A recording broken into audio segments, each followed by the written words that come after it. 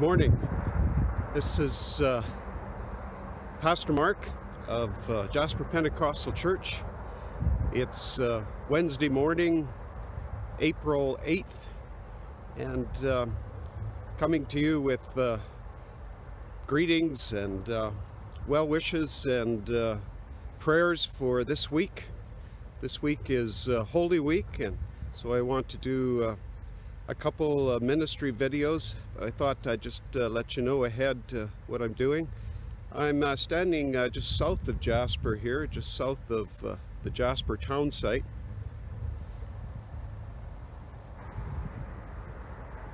Behind me are Signal and Tekarra Mountains. And below Signal and Tekarra are, is Old Fort Point. Old Fort Point uh, gets its name from uh, the fur trade era and uh, many of the fur trading stations were called forts and some of them had stockades, many of them didn't. And uh, often after they'd been used for a season or more, uh, they were called old.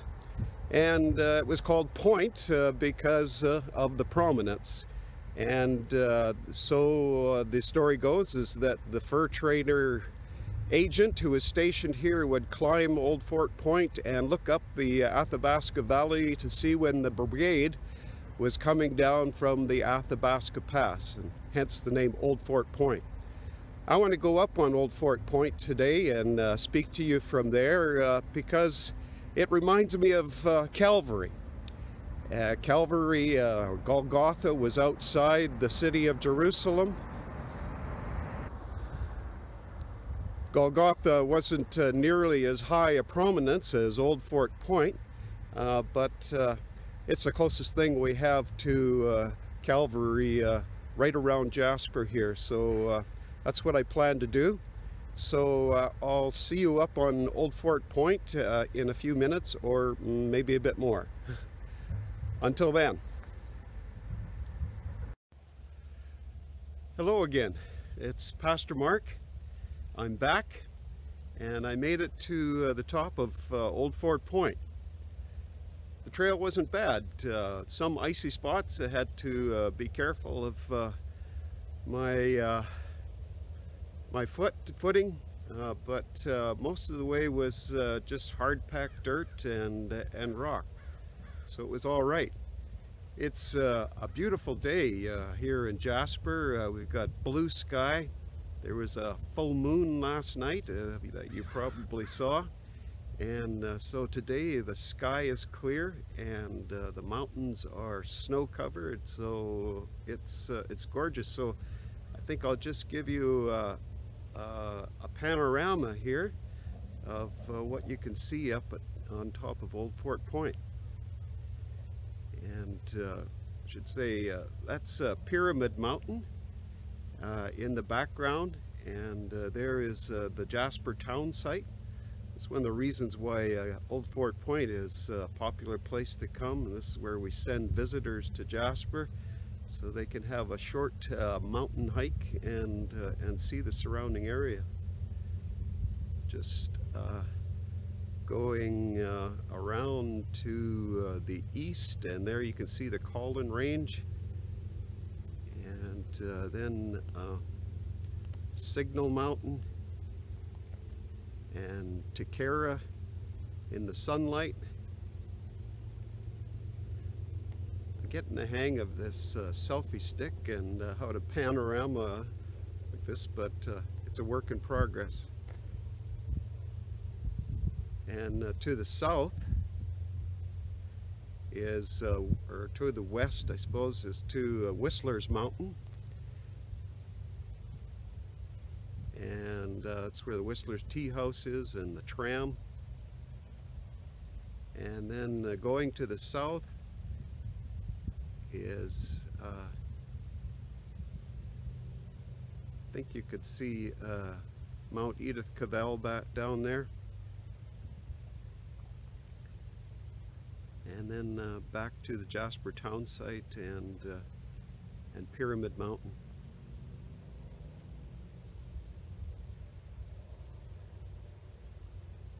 As I uh, mentioned before, it's uh, uh, Good Friday. It's Holy Week this week and uh, Good Friday this Friday. And uh, I want to do a Good Friday service and record that and, and post it for you. And uh, as a part of uh, my Good Friday service, uh, I want to lead you in communion. A very different uh, sort of communion, uh, to be sure, because uh, we can't be together in community. Uh, we have to isolate and self-distance and, uh, and so on. Uh, but we can share in communion, and so I'd like to lead you in a service of communion, if you will. And uh, I invite you to uh, prepare for it by uh, getting ready for you and uh, your family, whoever's in your household, getting ready uh, a cup and bread, a cup of, well, I'll be using a cup of grape juice and probably some flatbread. Like uh, the Passover bread uh, that the Jewish people, including Jesus, uh, used at, uh, at Passover time and the time of uh, the Last Supper.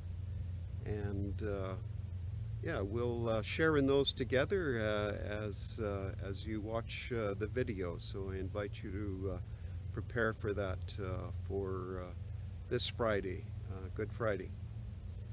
Um, before I go and uh, leave this uh, beautiful place and this beautiful site, I'd just like to uh, share a, a scripture uh, reading uh, with you, uh, something that has to do with, with Calvary and the Good Friday story. And this is from the book of Hebrews in the New Testament, Hebrews chapter 13 and uh, verses uh, 11 to, uh, to 14. And here uh, the uh, writer of Hebrews speaks about the suffering of Christ for our sake. And he likens Jesus to the sacrificial animal that the high priest or the priest of Israel uh, after he had sacrificed uh, the body of the animal, he uh, took it out uh, to outside the city to dispose of it uh, uh, because it was dead and it no longer belonged in the holy precincts of the temple and the city. And Jesus himself was, was um, executed outside of the city of Jerusalem outside the city walls. The walls have changed uh, since that time, but in Jesus' time, he was led outside the city and crucified out there because uh, his death uh, would have defiled uh, the city precincts and would have been forbidden by Jewish law, and so he was uh, crucified outside the city, and that's what uh, the writer of uh, Hebrews speaks about. And here he says, The high priest carries the blood of animals into the most holy place as a sin offering, but the bodies are burned outside the camp. And so Jesus also suffered outside the city gate to make the people holy through his own blood. Let us then go to him outside the camp, bearing the disgrace he bore. For here we do not have an enduring city but we are looking for the city that is to come. And in Christ Jesus, we are looking uh, for that heavenly city and the future kingdom of God. And uh, we, uh, we don't have to live outside uh, our cities, our dwellings, our towns uh, here in this life, but we certainly must be willing to uh, bear the disgrace that Jesus bore we must be willing to uh, confess his name and uh, say, Yes, uh, I'm a believer, I'm a follower of Christ Jesus. And, uh, and so we uh, suffer uh, along with our Savior and identify with him in that way. And we continue in faith and in faithfulness and in service. And as part of our service, we remember the death of our Lord on this Good Friday, but also celebrate his resurrection from the dead on Easter Sunday. And uh, so I uh, invite you to uh, join me for the Good Friday broadcast and then again on Easter Sunday, another broadcast to, to celebrate the resurrection of the Lord. And so I pray God's blessing on you and your families. I pray He'll keep you well. And uh, I pray uh, for our government leaders, for Premier Jason Kenney and for his cabinet, who must make uh, very uh, important decisions and very difficult decisions at this time. What is best for the welfare of, uh, of Albertans and how we get through this present health crisis and how we uh, save the most lives that we can and how we uh, do it uh, in, in a caring and, and respectful way. And so I pray that God will be with our leaders and uh, our health officials and, uh, and our health workers too. And uh, I pray God's blessing upon you, and may this be a very uh, blessed and uh, meaningful and uh, even inspiring Easter for you and your family. Amen. And farewell till uh, Friday.